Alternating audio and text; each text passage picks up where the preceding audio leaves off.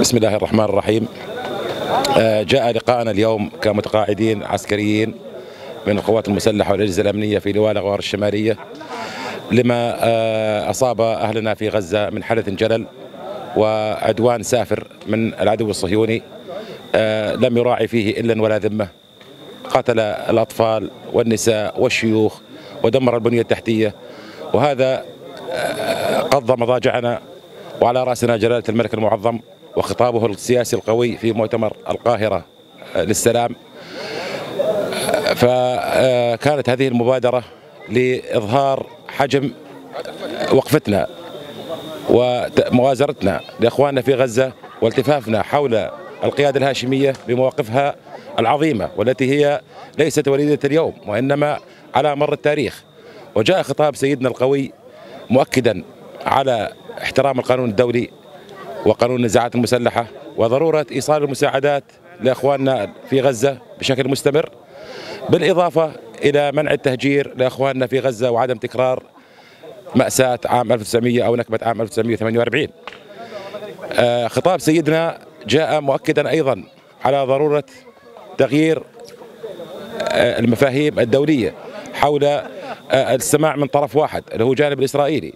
وأن وأكد أيضا جلالة سيدنا على أن الدم الفلسطيني ليس أقل من الدم الإسرائيلي. وأكد أيضا على أن آه، القانون الدولي هو في تباين في تطبيقه وسياسة الكيل بمكيالين والازدواجية في التنفيذ والتطبيق. وهذا كله آه، كما وصفه سيدنا الله يطول بعمره آه، دعا إلى اليأس والإحباط والغضب لديه. ونحن في اجتماعنا هذا جئنا مؤيدين لموقف جلال سيدنا لتماسك جبهتنا الداخلية وعدم السماح لأي كان أن يستغل هذه الفترة أو الفرصة لتنفيذ مخططاته أو النيل من سمعة وأمن واستقرار هذا البلد. إن قواتنا المسلحة تربينا فيها على حبنا لأراضينا الفلسطينية ومقدساتنا كما تربينا في مدارس الهاشميين على هذا النهج. إن مصاب الأخوة الفلسطينيين هو مصابنا وفي نهاية المؤتمر خرجنا ببعض التوصيات والتي من شأنها آه، تعزيز آه، المفاهيم لدى آه، المواطنين جميعا ولدى إخواننا وتوضيح الصورة والبعد عن كل الإشاعات وما يروج له خدمة لذوي الأنفس المريضة. حفظ الله الأردن وسمو ولي العهد المعظم وحفظ هذا البلد امنا مستقرا والرحمة لشهدائنا الأبرار. وإن شاء الله تفك هذه الغمة قريبا ويعود السلام والأمن في منطقتنا. والله ولي التوفيق. سيدي هاي المبادرة إجت من نخبة من آه، بعض المتقاعدين العسكريين زملائنا في بلدية آه، في بلدية معاذ بن جبل وفي الأغوار الشمالية كافة. مبادرة هاي سيدي أول شيء دعم لأهلنا في فلسطين وفي غزة. الأمر الآخر آه، تثمين وتقدير جهود سيدنا الله يطول عمره جلالة الملك. والأمر الثالث كمتقاعدين عسكريين إحنا يعني آه، دعم لأخواننا بالجيش العربي والأجهزة الأمنية. هذه الجلسة أتت على أثر الأحداث الجارية في قطاع غزة.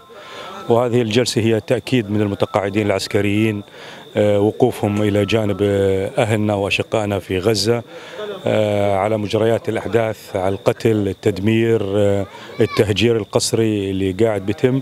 وهي أيضا جلسة أراد المتقاعدين منها أن يرسلوا رسالة سواء كان للداخل أو الخارج أن المتقاعدين خصوصا والشعب الأردني عموما يلتف حول قيادته الهاشمية.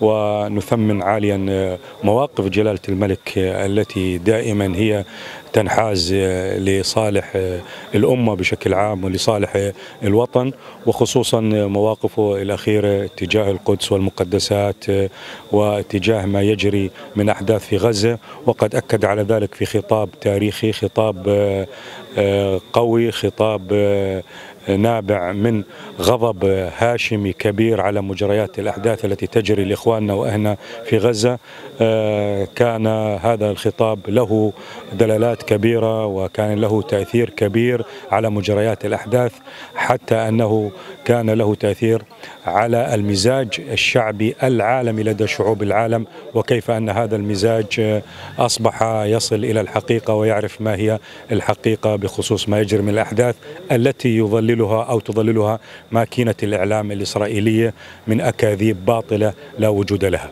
هذا المنطلق نؤكد جميعا كمتقاعدين عسكريين وقوفنا خلف جلالة الملك وولي عهده الأمين ووقوفنا أيضا مع أجهزتنا الأمنية وجيشنا العربي في الواجبات الموكلة إليه بخصوص ما يهم الوطن وما يهم الأشقاء في غزة وفي فلسطين بشكل عام.